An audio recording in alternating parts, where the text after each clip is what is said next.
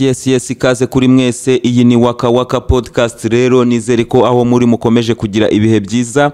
Uyu munsi reka tuganire kuri contre offensive y'abarusiya. Twaganiriyeho ubushize. Turebe ese igeze hehe? Ni ibiki biri guhinduka ku mirongo y'urugamba? Ese abanyayukurene bari kubyitwaramo gute? Abarusiya bari gutegura gute ibitero byabo? Ni iki kijya mbere mu mirongo y'abarusiya? Eh, rero muri podcast y'ubushize nk'uko twari twabivuze ah, Zelensky n'igisirikare kiwe bari bakoze amakosa n'ubu ngubu bakomeje gukora yo kugaba udutero shuma udutero dusa naho udutero dusa naho ari udutero two kurakaza Vladimir Putin. Udutero dusa naho ari utwo kuvuga ngo tubone icyo tuvuga muri media. Eh, Zelensky abagira ngo abone ikintu avuga muri video ikurikira ari buze kwifata uko mubizi. Ni umwacteur ni umuntu uhora imbere ya kamera buri kanya aba yifata. Rero ibi ngibi byatumye uburusiya burakara.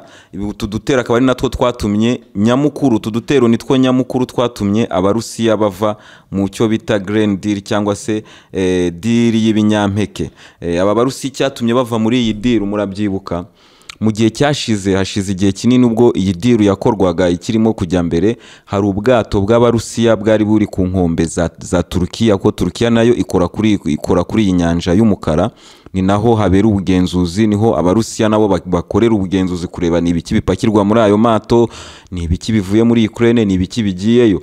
So ubu bwato rero bwari buri ku nkengero za Taki ni muri mu birometero magana atanu mu birometero magana atanu. Murumva ni kure cyane ariko aba banyayukurene bijyanye n'ibikoresho bahabwa bagize ubushobozi bwo kuba bagaba ibitero bitera kuri ubu bwato. Nubwo ubu bwato bwabashije kwirwanaho bukarasa izi drone ariko murabyumva ko igihe cyose iyi odessa ni- ni- ni- n'ibyambu byabo byari bigikomeje gukora abanyayukurene bari bakomeje eh, kujujubya abarusiya ku buryo amato yabo aho yabaga ari hose muri iyi nyanja y'umukara nta mutekano usesuye aya mato yashoboraga.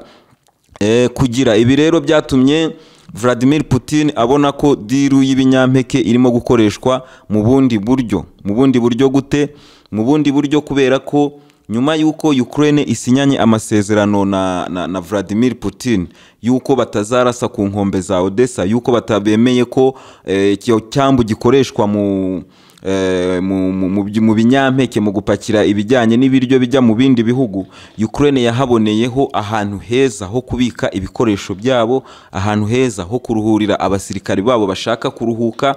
Ni ukuvuga ngo ibi bikoresho byose bahaga eh, abanya-Ukraine biremereye bifite uburemere n'agaciro kanini biragenda bikabanza bikabikwa ahangaha ku nkombe za Odessa kubera ko ni ho hari umutekano ni ho umurusiya adashobora kurasa kubera ko hari harimo amasezerano y'ibinyampeke. Ibi rero abarusiya bakomeje kubibona ariko n'abanya-Ukraine ntibarinda eh, iyo ako gace kabo babikamo ibikoresho. Nibyo mpamvu mbabwira ngo Zelensky ba- na, na Zaruzhin bafatanyije eh, kuyobora i- igisirikari cy'aba- cy'abanya-Ukraine bag- ba- bagenda bakora amakosa. Nuko izi nkombe bashoboraga kuzifata bakavuga bati aha ni ho tuzajya tubika ibikoresho byose e, biturutse mu mahanga baduhaye mu mahanga kuko ibiri Kiev barabirasa ibiri ahandi hose barabirasa. Odessa niyo yonyine itararaswagaho n'umurusiya kubera diru y'ibinyampeke. Iyo ni diru ya mbere yatumaga abarusiya batarasa ahangaha indi ya kabiri ndaza kuyigarukaho. Reka tubanze turangize iki ngiki kwanza. Ibi rero byatumye abarusiya babona ko batazigera bagira amahoro igihe cyose odessa ikiri intact. E, odessa itaraswaho. Igihe cyose abanyayukurene bagifite aho bahisha ibikoresho byabo n'aho baza gukorera ayo mato yabo no gutegurira ibitero byabo bagaba mu nyanja y'umukara ari byo bagaba kuri Crimea ari byo bagaba kuri kiriya kiraro cya Crimea ari byo bagaba ku mato y'intambara y'abarusiya. Ibyo byose ni ibitero bituruka kuri izi nkombe za Odessa. Ubu rero Odessa nk'uko twabibonye ni tageti y'abarusiya. Ni tageti y'abarusiya Odessa igomba kuva mu nzira.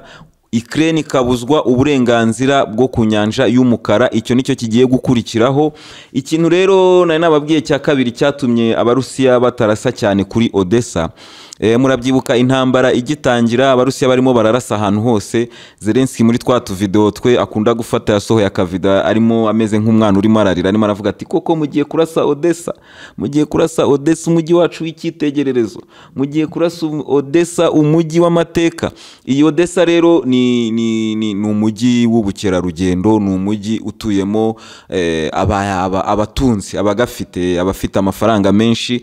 Harimo abaherwe b'abarusiya baje bubaka ahangaha kuri izi nkombe za odessa n'abaherwe b'abanyayukurene n'abaherwe baturutse mu bindi bihugu kuko ni ahantu heza nk'uko mubibona ku nyanja y'umukara.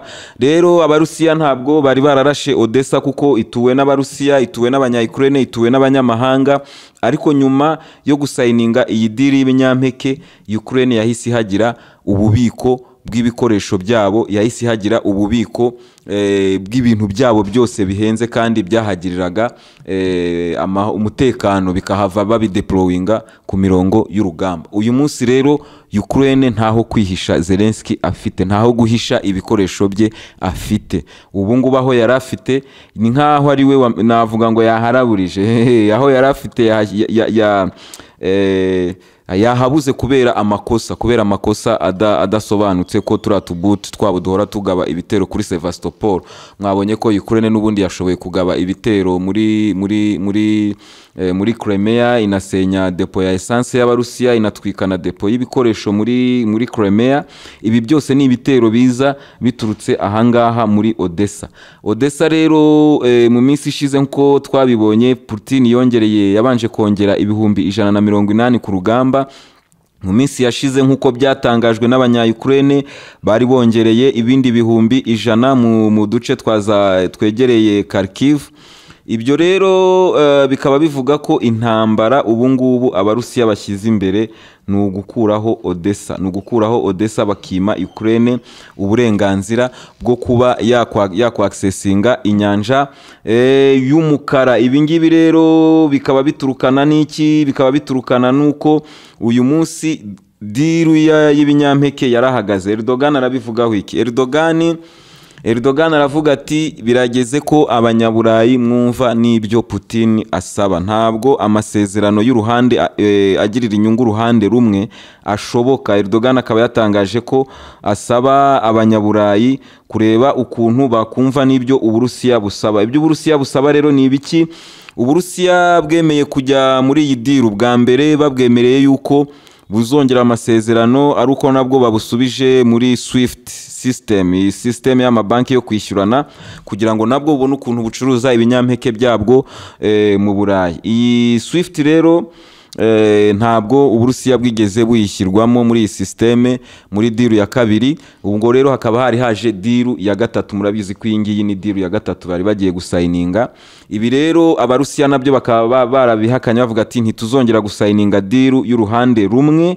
Ibi abanyaburayi bakaba bakomeje kubikoresha mu kwangisha abarusiya ibihugu bya afurika n'ibihugu eh, byo muri aziya. Kubera ko barimo kuvuga ati dore Putin noneho ni we ugiye kubicisha inzara. Dore Putin noneho ni we uhagaritse amasezerano y'ibinyampeke. Dore Putin ni we ufunze amayira y'ibiryo ni we kibazo. Ariko eh, Putin ntabwo ari we kibazo kuko nawe uri Putin ntabwo wasinya amasezerano. Afitiye inyungu uruhande rumwe gusa. Wowe nta kintu ubyungukiramo. Byiyongereyeho noneho n'ayo masezerano. Ugasanga arimo arakavaringa eh, ibitero arimo arakavaringa aho ibitero bitera abarusiya bitera biturutse. Eh, nk'uko mubizi rero ibi bibaye nyuma y'uko hamamajwe contre-offensive y'abanya-Ukraine iravugwa cyane iravugwa ku binyamakuru mu buryo buteye ubwo bikorerwa kampeni ikomeye cyane ku buryo twese twategereje contre-offensive ifite imbaraga nyinshi. Twese twatekerezaga cyane cyane ku bintu bisa n'ibyabereye Normandi eh, iriya niyo contre-offensive ibereye ku butaka ikabera no mu kirere. Iyo niyo rero twari dutegereje. Hano rero ahangaha ukuntu abanyaburayi ari amashyano ahangaha haranditse ngo ngo the NATO commanders and instructors knew that Ukraine did not have enough weapons for a counter offensive but hope for urumva ni ibintu biteye agahinda ngo abacommanders ba NATO bari babizi ko Ukraine idafite ibitwaro cyangwa se intwaro n'abantu bishoboka ko yakora ya- ya- contre offensive ariko bahopinga ko bashobora gusanga abarusiya basinze ubwo nabo eh, bakikomereza nyine. Murumva ko ibyo ngibyo ni ubugambanyi ni ukuroha abantu eh, mu masasu menshi. Urumva niba uvuga uti mugende mwirohe turebe tu- ni ugutegereza ibitangaza ni ugutegereza ibitangaza. Ibyo rero eh, njye mbibona nko kugambanira abaturage b'abanyayukurene kuko mubizi guhera ku myaka mirongo itanu kumanura kugera ku myaka cumi n'itandatu ni abantu babujijwe uburenganzira bwabo muri Ukraine kuko uranyeganyega gatoya bakagufata bakagushyira mu gisirikare bakagutoza ibyumweru bibiri bakakohereza eh, ku rugamba. Ubu rero ni bwo bugambanyi bw'aba- bwa- bw'abanyaburayi mujye mubibona neza koherereza abantu muri contre offensive abarusiya uzi ko biteguye hafi igihe kirenga ku mwaka ukabohereza kuriya ni ukubohereza mu rupfu. Ubizi wowe ugasigara utegereje ibitangaza nka bya bindi by'abarokore baririmba ngo shyiraho amazi ubundi usenge ngo imana iguhaye ifu. Nibyo bintu mbona muri ibi ngibi. Hanyuma hano umuvugizi wa UN aravuga ngo the UN condemned the use of American cluster ammunition by Kiev. Report of the use of the American cluster ammunition cluster ammunition by Kiev are worrying. Ni ukuvuga ngo UN bwa mbere bwa mbere mu mateka yayo noneho iri gukondana abanyamerika aho irimo gukondana izi ntwaro za cluster abanyamerika batanze muri Ukraine nk'uko mwabibonye.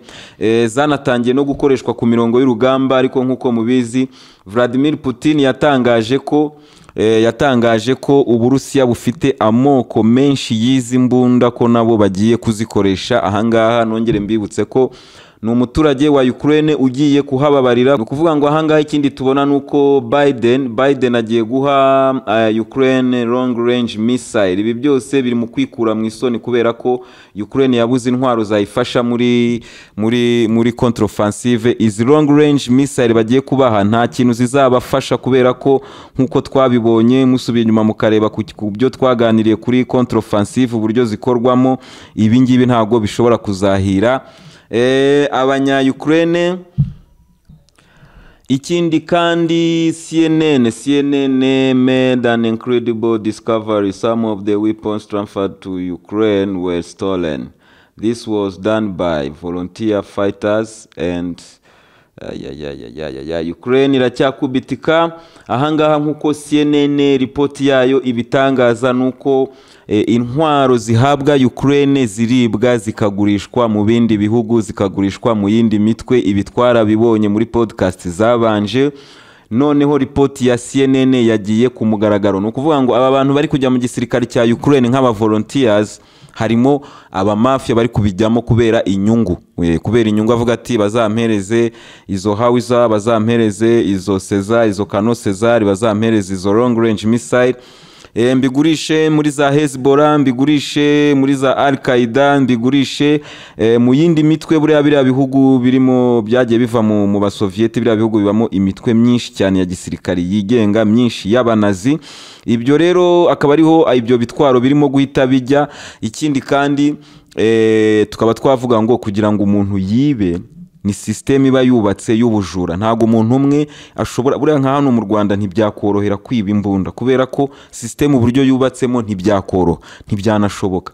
Rero kugira ngo wibe bihera kuki kugira ngo ushobore kwiba wibe bishoboke bihera hejuru.